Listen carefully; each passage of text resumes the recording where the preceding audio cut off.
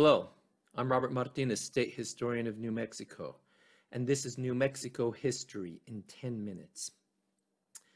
In 1760, Fray Juan Jose Toledo, the priest at Abiquiu, New Mexico, wrote a letter to local government officials with an alarming statement. His pueblo was in the grip of the devil and there were many deaths associated with the practice of witchcraft and sorcery.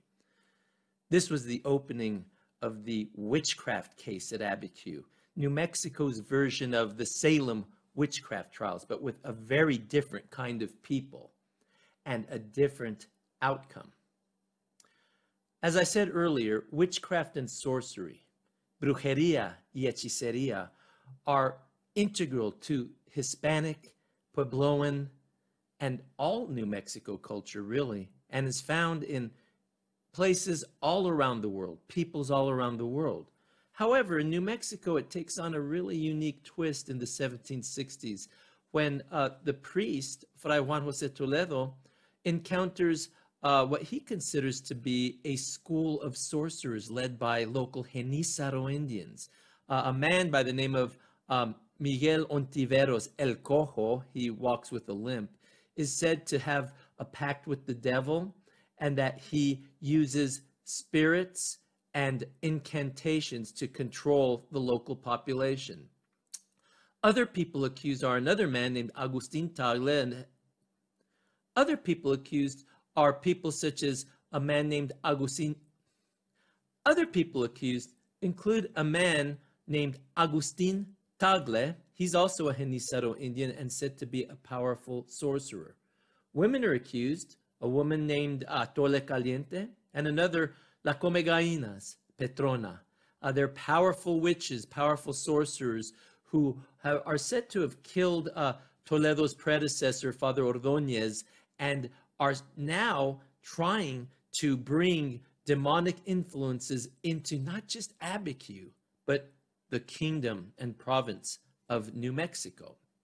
Well, if we look back into Father Toledo's past, he was from Mexico City, the son of Spanish parents. He was uh, educated at the Convento de San Francisco. He's a Franciscan priest.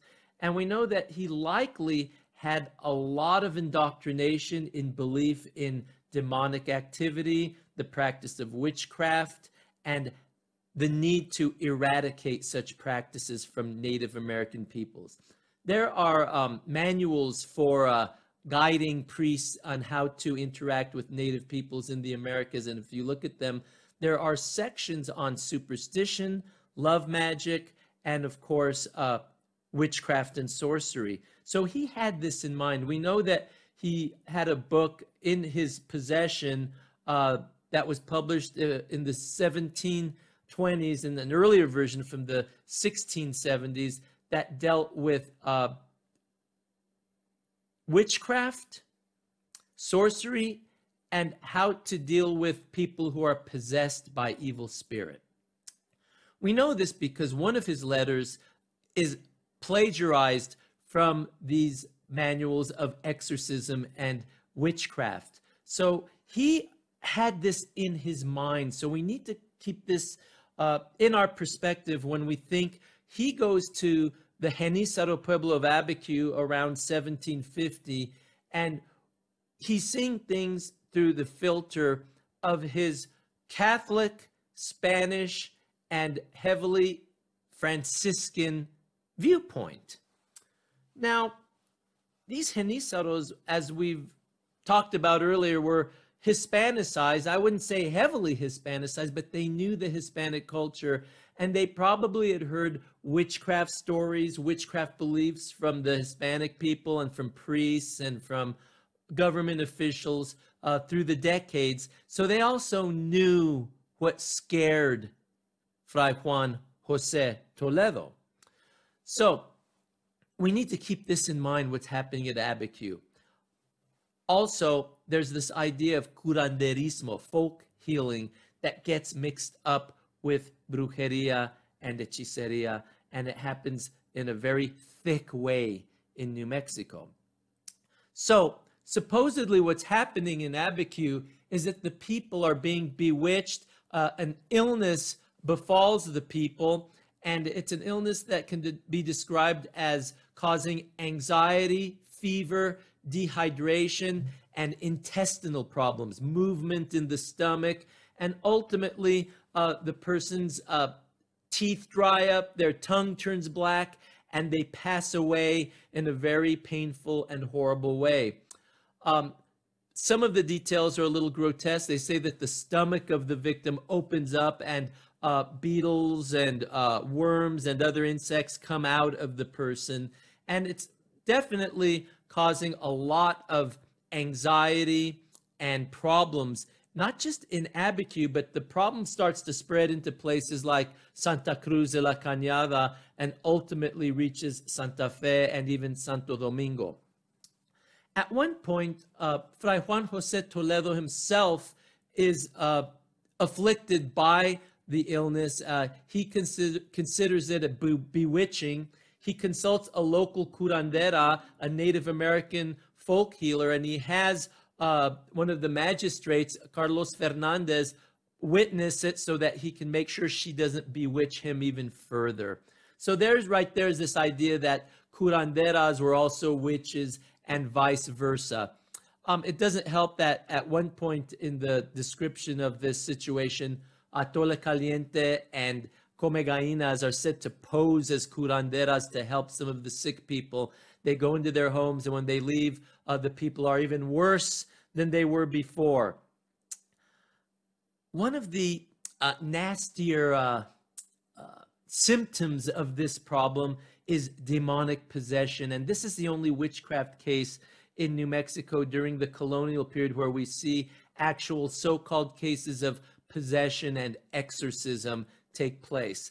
There are five young ladies. Uh, some of them are Native women. Some of them are Hispanic women. They're they're young, probably aging, uh, probably uh, in age from about 12 till about probably in age from about 12 years old to 17 years old, and um, they come down with a case of so-called possession supposedly during Mass at the church in Abiquiu when uh, Toledo would uh, raise the host to consecrate, um, they would fall into fits and scream and yell and uh, pass out. And supposedly they were very difficult to lift off the floor. They would scream and speak in Latin. And ultimately, the priest performed exorcisms on these uh, young ladies uh, in public during these exorcisms, uh, the young ladies uh, accused many people in New Mexico and Sonora of being witches and sorcerers. And the documents even have a list of about 178 people with physical descriptions and names uh, telling uh, government officials who these so called witches and sorcerers were. It's quite uh, exciting what's going on in New Mexico, so much so that the governor at the time, Tomas Velez Cachupin, he sends the case down to Mexico City for the Inquisition to look at. The lawyer for the Inquisition says this is not witchcraft, this is not sorcery, these are not witches and sorcerers. Rather, it's the priest's fault. He needs to do a better job of evangelizing and catechizing the Genízaro Indians. He needs to learn their languages. Well, the damage is done to a point. About 12 of these folks are arrested and uh, put on trial in Santa Fe. They're housed in Santo Domingo. And ultimately, um, they're sentenced to work uh, the rest of their lives out in uh, Hispano households. I mean, can you imagine that? You're you're assigned a, a Genízara woman to work for you, and she's an accused witch or sorcerer. Um, some of them escaped this fate, um, but some of them died uh, in servitude, essentially. Uh, but it's interesting reading the documents. They describe the ways of witches. Some of these can be found in the books that the priest had, but there are also ideas like um, uh, there, it said that some of the witches could fly from uh, New Mexico to parts of uh, Mexico, uh, like um, Guadalupe del Paso or even Mexico City in an egg. Um, they had the ability to move about uh, unseen so that they could perform their uh, evil acts and curses. So a lot of these ideas come down to us through the generations uh, into modern times, and we still hear them in New Mexico. Um, it's quite fascinating. Um, we still have these stories here. Um, the idea that if you see an owl, you're walking along a road, if you see an owl in a tree, if you tell the owl, mañana vengas por sal, tomorrow you'll come for salt. And the next day, if somebody knocks on your door and asks to borrow some salt, they're a witch. Also, this idea uh, in old documents and old stories that uh, witches are able to uh, anoint themselves with an evil uh, smelling black ointment. And if they renounce uh, the uh, Christ and they take off their rosary, um, that tells us people wore their rosary with them a lot. Um, and they got on a broom um, and they chanted a certain phrase, they could levitate and fly. There's a story of kids watching witches do it, and then they copy them. And when they start to to levitate, uh, they cross themselves and say, "En el nombre de uh, Jose Maria y Jesus," in the name of Joseph, Mary, and Jesus, and they fell to the ground because the invoking the name of Jesus and the saints broke the spell. So these are ideas that come down to us. Um, La Llorona is not a witch. That's a whole other story uh, that comes down to us. But um, this is an aspect of life in New Mexico in the 1700s. Now, before uh, we go to thinking that uh, New Mexico is just a land of witches in the 1700s, it's not true.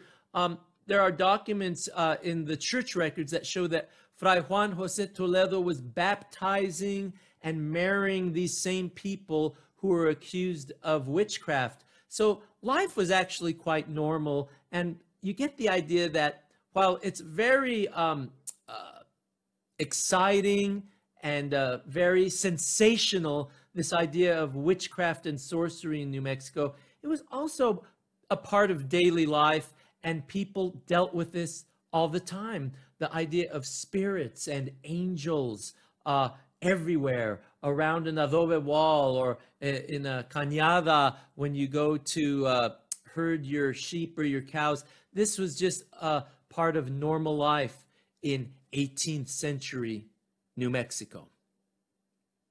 Thank you for joining me. I'll see you next time. Bye.